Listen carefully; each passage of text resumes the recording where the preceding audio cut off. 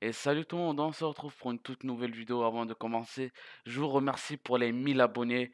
Je vois qu'on est euh, de plus en plus dans la communauté, euh, dans cette petite communauté. Je vous remercie davantage. Euh, rejoignez-nous davantage parce qu'on va organiser pas mal de concours avec Fufu, avec le Discord, avec le, les différents Twitter, que ce soit pour ce jeu, que ce soit pour Kimetsu, pour Naruto X Ninja Tribes. Il y a pas mal de choses à faire. Et donc, je vous invite à vous abonner parce que je vois qu'il y a énormément de non-abonnés qui regardent la vidéo. Et donc, lâchez un maximum de pouces bleus pour augmenter le référencement et abonnez-vous. Comme ça, je vous organise davantage de concours, de, de projets, de surprises que vous allez sûrement aimer, vous allez voir.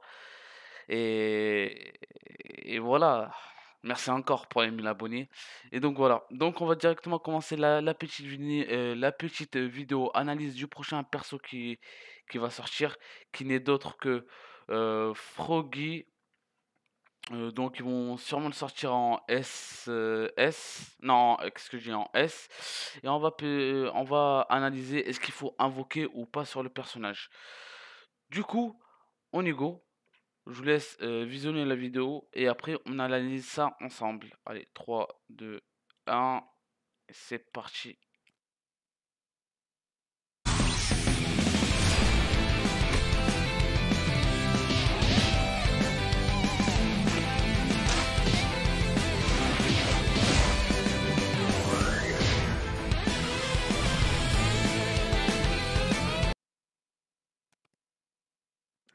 Donc, en soi, le personnage, reste assez simple. Euh, elle a trois compétences dans une attaque offensive, deux attaques offensives, deux attaques offensives parce qu'il y en a une qui, frappe sur du long terme, c'est du poison. Elle lance des neuroxines qui, qui empoisonne. Une zone qui permet d'aveugler l'ennemi, de le, on va dire de le stunt plus ou moins. S'il est dans cette zone, il ne pourra pas nous attaquer.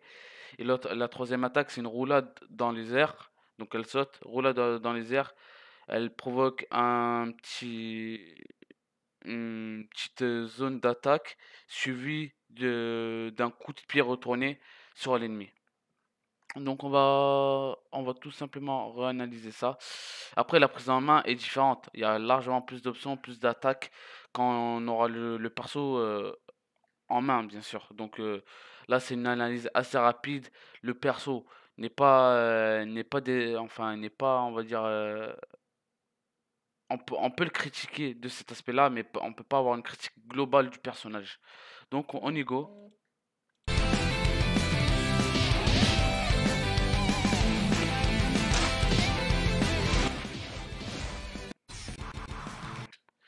Il y a un truc que j'ai pas remarqué.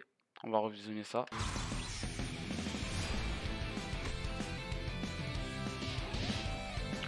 Ouais, donc l'auto-attaque peut aussi grappe. Je sais pas ce qu'ils ont comme ouais avec, euh, avec les grappes en ce moment. Tout ce qui attire, ils kiffent ça. Hein. Que ce soit Fumikage, que ce soit euh, Aizawa ou encore, euh, encore Froggy. Eh ben, Froppy, Froggy. Si je dis pas de bêtises, Froggy, ouais.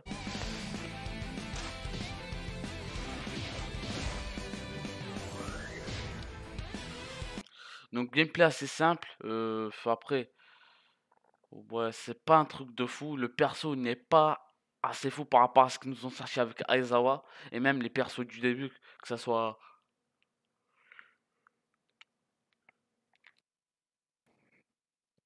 Que ça soit euh, n'importe lequel d'entre eux. Euh, que ça soit Fumikage, que ça soit Momo, que ça soit Bakugo je trouve que ceux-là, ils sont largement plus intéressants. Après, euh, ce que je verrais bien, ça sera son type. Ce serait bien un type, euh, euh, un type offensif comme plutôt un type offensif, explosif comme quand il s'appelle Bakugo ou encore ou encore Oshako, si je dis pas de bêtises. Euh, après, elle envoie des neuroxines, donc on pourrait croire qu'elle serait du même type que Mineta. Donc attendez.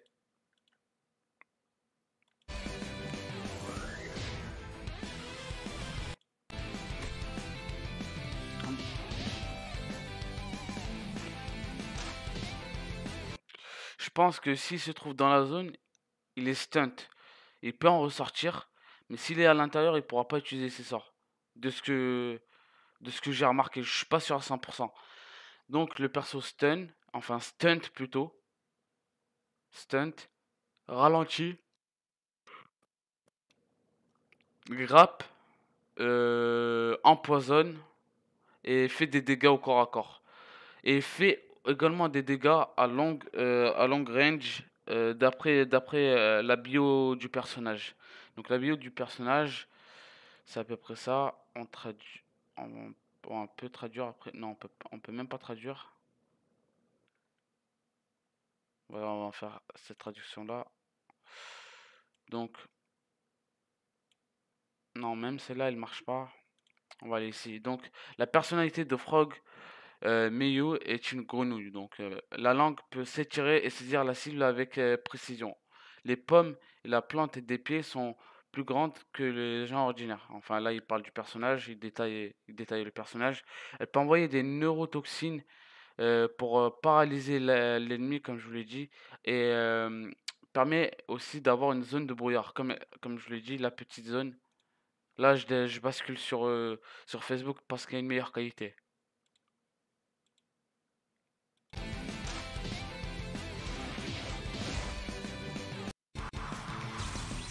Donc la zone là, on va enlever le son. La zone. Là c'est le grappe, elle, elle attire l'ennemi.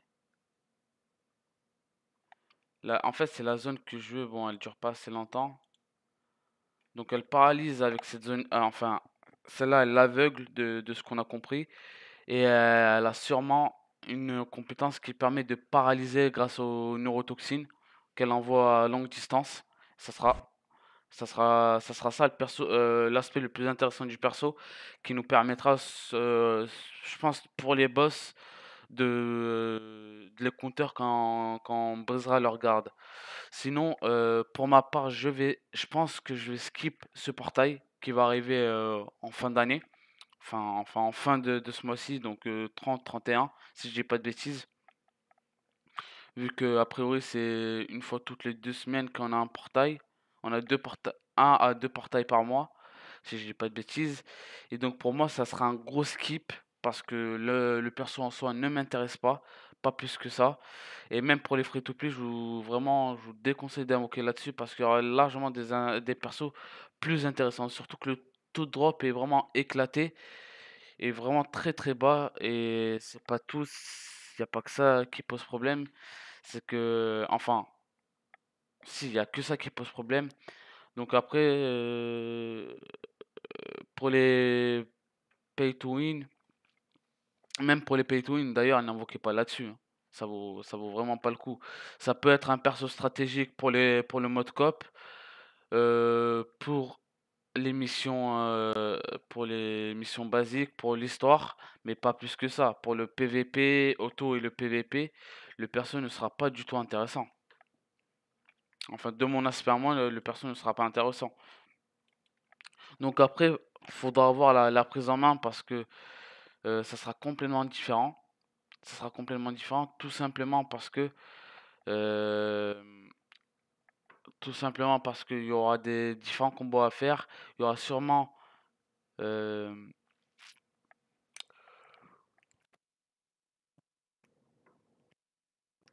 il y aura sûrement quoi d'autre plusieurs compétences comme Aizawa, on peut basculer sur une double compétence, sur, enfin qui a deux, deux, deux, types de compétences sur, le, sur la même compétence. Mais sinon, à part ça, je vois pas où, le, où, et en quoi le perso serait intéressant dans sa globalité, à part pour le poison et le stun. Parce que concrètement, on a Aizawa pour grappe, stepper derrière les ennemis, pour faire un masse de dégâts. Et il l'immobilise également. Elle, elle fait du. Faudra voir les effets également. Donc, euh, faudra voir. Euh, le perso sortira d'ici 5-6 jours. On verra. Donc, pour le moment, je reste sceptique pour le, ce personnage. Pour la collection, si vous voulez invoquer allez